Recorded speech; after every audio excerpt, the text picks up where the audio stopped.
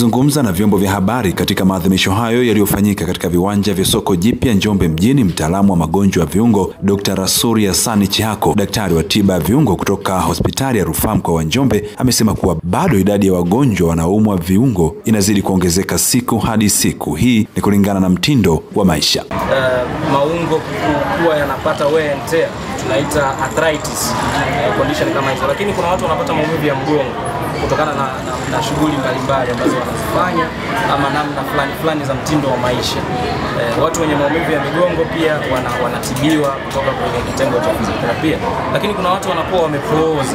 Unaweza ukapooza sura ama unaweza ukapooza upande mmoja wa mwili wako, kwa maana kwamba umepooza mkono kutokana na sababu tofauti tofauti. Kwa mfano, mtu alipata kiharusi ama stroke kitaalamu, tunajikuta huyu mtu amepoteza nguvu kwenye upande mmoja wa mwili wake.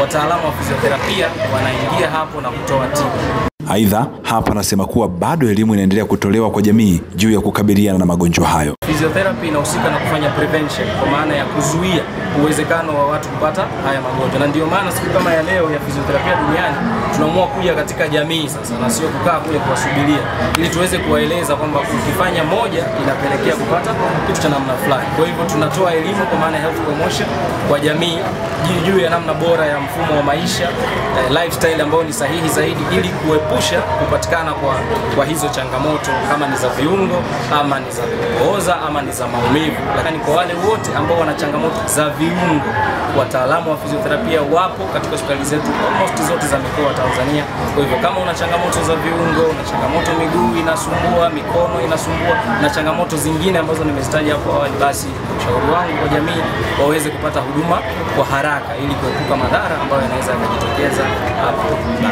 Katika maadhimisho hayo pia limefanyika zoezi la uchangiaji damu kwa hiari ambapo Priska Julius Nyenzi, mratibu wa damu salama hospitali ya rufaa ya Njombe, anaeleza namna walivyotumia siku hiyo kuhamasisha wananchi kuchangia damu kwa hiari.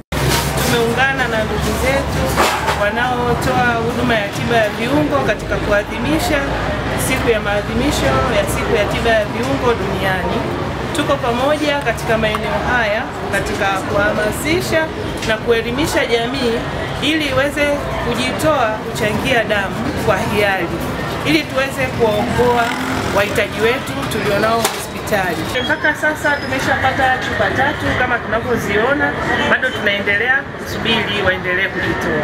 Kituo hiki kimezungumza na baadhi ya wananchi akiwemo James Erasmus waliofika katika maadhimisho hayo kwa ajili ya kupata matibabu, na hapa wanaeleza namna huduma hiyo ilivyowanufaisha. Nimekuja hapa kwa ajili ya huduma kwa ajili ya mtoto wangu. Mtoto wangu mimi alipata shida kidogo ya mkono, alivunjika. Lengo la kufika hapa ni kwamba kupewa huduma hiyo ya mazoezi, na bahati nzuri nilivyokuwa nimefika siku ya leo, nimekuja kukutana na huduma kama hizi. Nimefurahia huduma zilizopo, na kama mlivyoona ni kwamba mtoto wangu anaendelea kupewa huduma hapa. Kwa hiyo nashukuru sana huduma nilizopenda.